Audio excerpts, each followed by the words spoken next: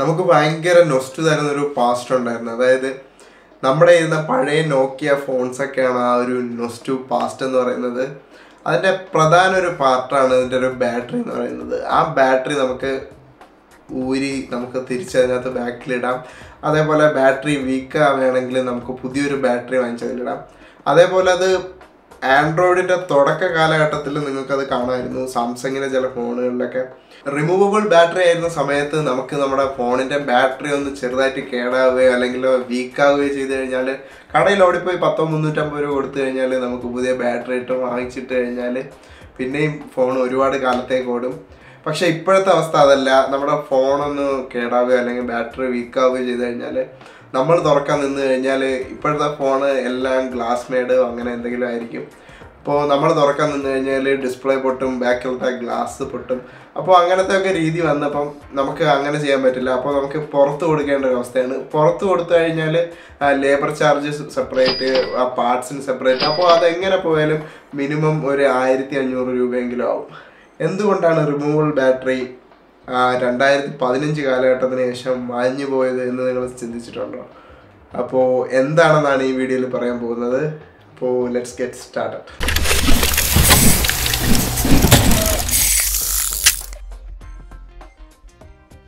രണ്ടായിരത്തി പതിനഞ്ചിന് ശേഷം മാർക്കറ്റിൽ ഭയങ്കര കോമ്പറ്റീഷൻ ആയിരുന്നു.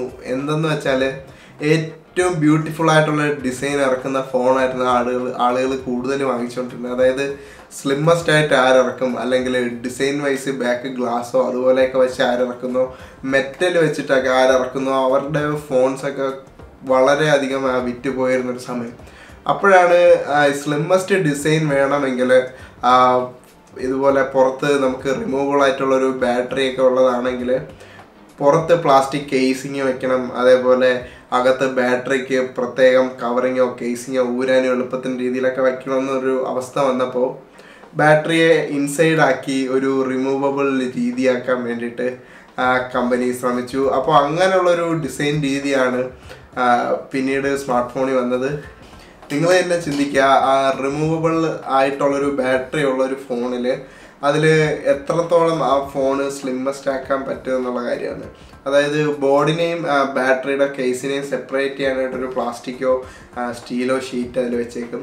പിന്നെ ബാറ്ററിയുടെ അത് നമ്മൾ കയ്യിലൊക്കെ എടുത്ത് ഉപയോഗിക്കുന്നതുകൊണ്ട് ബാറ്ററിയെ പ്രൊട്ടക്റ്റ് ചെയ്യാൻ വേണ്ടിയിട്ട് അതിന്റെ പുറത്തൊരു കവർ ഇൻക്ലൂഡ് ചെയ്യണം. അതിനുശേഷം അതിന്റെ മുകളിലൊരു നമുക്ക് തുറക്കാൻ വേണ്ടിയിട്ട് പിന്നെയും ഒരു സെറ്റ് ഓഫ് പ്ലാസ്റ്റിക്കോ മെറ്റലോ ആയിട്ടുള്ളൊരു ഷീൽഡ് വയ്ക്കണം. അപ്പോൾ ഇത്രയും ലെയർ വന്നു കഴിയുമ്പോഴത്തേക്കും ഓബിയസ്ലി നമ്മുടെ ഫോണ് ബൾക്കി ആവും അല്ലെങ്കിൽ സ്ലിമ്മർ അല്ലാതെ ആവും. അപ്പോൾ ഇങ്ങനൊരു സാഹചര്യത്തിലാണ് കമ്പനീസിന് ഈ ബാറ്ററിയെ റിമൂവബിൾ അല്ലാത്ത രീതിയിലാക്കേണ്ടി വന്നത്. ഇപ്പോഴത്തെ ബാറ്ററികൾ നിങ്ങൾ ഫോൺ തുറന്ന് കണ്ടിട്ടുണ്ടോ? കണ്ടിട്ടുണ്ടെങ്കിൽ നിങ്ങൾ അതിശയിക്കും. കാര്യം അത്രയ്ക്ക് സ്ലിമ്മാണ് ഇപ്പോഴത്തെ ബാറ്ററികൾ എന്ന് പറയുന്നത്. അതേപോലെ നമുക്ക് അതിനെ വലിച്ചൂരി എടുക്കാൻ പറ്റില്ല. വലിച്ചൂരി എടുത്തു കഴിഞ്ഞാലും ബാറ്ററി ഒടിഞ്ഞ് നുറുങ്ങി അങ്ങനെ ഒരു രീതിയിലാണ്. കാര്യം അത്രയ്ക്ക് സ്ലിമ്മസ്റ്റ് ആയിട്ട് നമ്മൾ ബാറ്ററി ഉണ്ടാക്കി കഴിഞ്ഞാൽ നമുക്ക് അത്രയ്ക്ക് സ്ലിമ്മസ്റ്റ് ആയിട്ടുള്ള ഫോൺ ക്രിയേറ്റ് ചെയ്യാൻ പറ്റുള്ളൂ.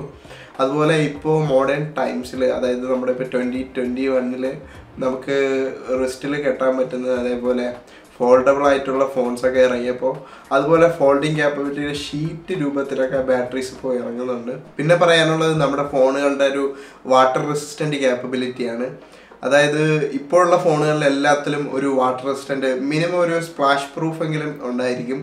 അത് പോസിബിൾ ആയത് ഈ റിമൂവബിൾ ബാറ്ററിയുടെ ഒരു ഓപ്ഷൻ പോയത് കൊണ്ടാണ് കാര്യം റിമൂവബിൾ ബാറ്ററി ഉണ്ടെങ്കിൽ നമുക്ക് ഈ ഒരു ഓപ്ഷൻ വയ്ക്കാൻ പറ്റില്ല. കാരണം നമ്മൾ റിമൂവബിൾ ബാറ്ററി വെച്ച് കഴിഞ്ഞാൽ ഈ അടപ്പനും അതിനും എല്ലാം എവിടെയെങ്കിലും ഒരു ഗ്യാപ്പ് ഉണ്ടാവുകയും അതിൽ കൂടെ വെള്ളം ഇറങ്ങുകയും അതേപോലെ സ്വെറ്റ് നമ്മുടെ വേർപ്പിറങ്ങുകയൊക്കെ ചെയ്തിട്ട് പെട്ടെന്ന് ഫോൺ നശിച്ചു പോകും പക്ഷേ ഇപ്പോഴുള്ള ഫോണുകൾ അങ്ങനെയല്ല. മൊത്തത്തിൽ സീൽഡ് ആയിട്ടാണ് വരുന്നത്.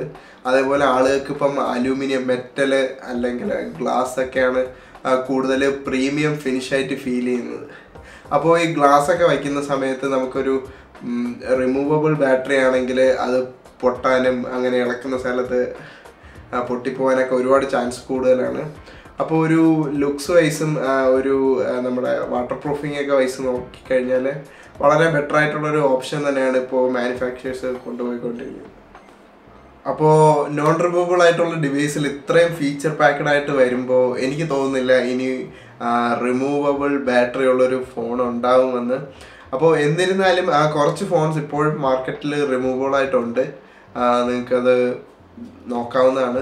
അപ്പോൾ റിമൂവബിൾ ആയിട്ടുള്ളൊരു ബാറ്ററി ഉള്ളൊരു സീരീസ് ഫോൺ ഇനി ഇറങ്ങുമെന്ന് എനിക്ക് തോന്നുന്നില്ല. കാരണം അത്രത്തോളം ഫീച്ചേഴ്സ് റിമൂവബിൾ അല്ലാത്ത ബാറ്ററി ഉള്ള ഫോണുകൾക്ക് മാനുഫാക്ചേഴ്സിന് കൊടുക്കാൻ പറ്റുന്നൊരു സാഹചര്യത്തിൽ അപ്പോൾ എല്ലാവർക്കും ഈ വീഡിയോ ഇഷ്ടപ്പെട്ടു എന്ന് പ്രതീക്ഷിക്കുന്നു. ഇഷ്ടപ്പെട്ടെങ്കിൽ സബ്സ്ക്രൈബ് ചെയ്യുക. എന്റെ വീഡിയോസ് കാണുന്ന നയന്റി ഫൈവ് പെർസെന്റേജ് ആളുകളും സബ്സ്ക്രൈബ് ചെയ്യുന്നില്ല. സബ്സ്ക്രൈബ് ചെയ്ത് കഴിഞ്ഞാൽ നിങ്ങൾക്ക് എല്ലാ ആഴ്ചയും രണ്ട് വീഡിയോ വെച്ചിട്ട് ഈ ചാനലിൽ നിന്ന് നിങ്ങൾക്ക് കാണാൻ പറ്റും. So thank you for watching guys see you next time bye